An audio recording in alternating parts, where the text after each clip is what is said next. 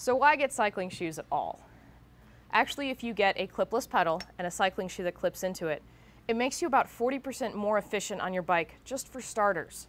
And then once you get the hang of your fluid pedal motion and everything, it's going to make you so much faster, so much stronger, and it's actually going to be easier to ride.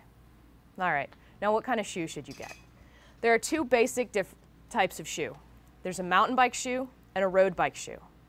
The two shoes typically parallel each other as they go up and get into higher quality. Your main difference is going to be in the sole. A mountain bike shoe has tread on the bottom so that you can walk. So you can get off your bike, run up a hill.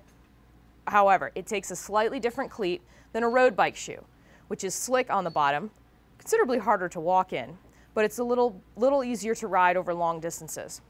On your basic shoe, you're going to get a plastic sole and something like this with some Velcro straps, maybe even a lace-up type closure.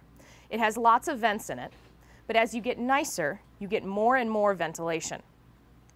Also, as you get nicer, you get a much stiffer sole.